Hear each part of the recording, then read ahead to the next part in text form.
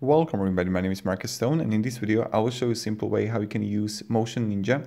So let's start. The first thing you want to do is just being like your Motion Ninja and now just create a new project.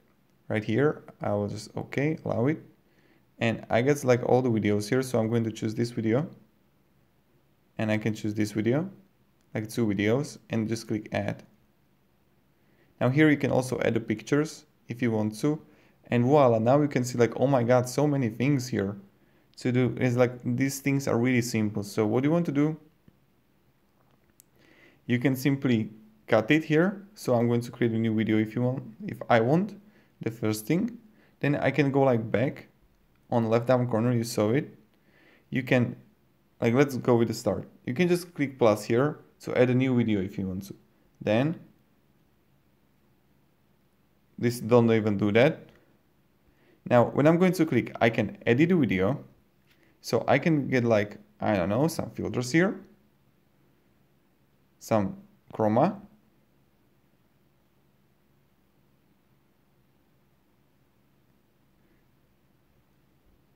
can create keyframes and I can add shadows.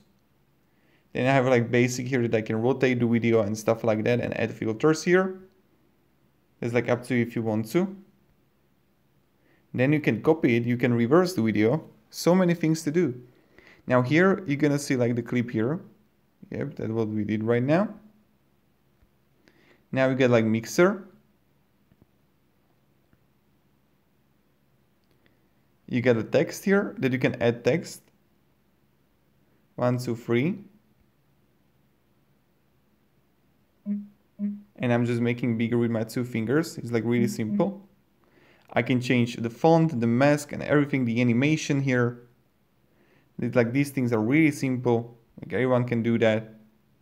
I'm not going to speak about it that much. I can make it longer, the text. Then you get like stickers here that you can add. Also really simple, really easy.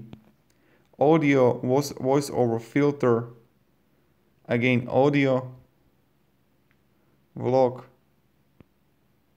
Or you can extract music from video if you have any music.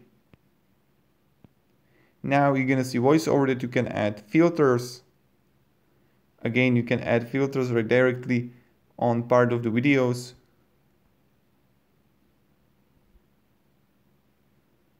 And then you're gonna see effects. Then you can like add a shake effect mm. or wobble. And yeah or glitch even.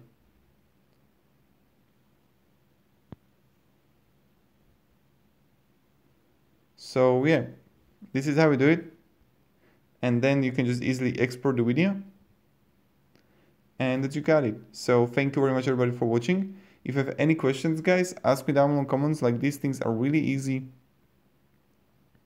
Really simple. Thank you very much everybody. And yeah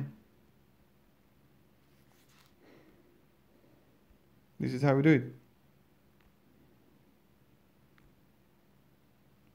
So have a great day and goodbye.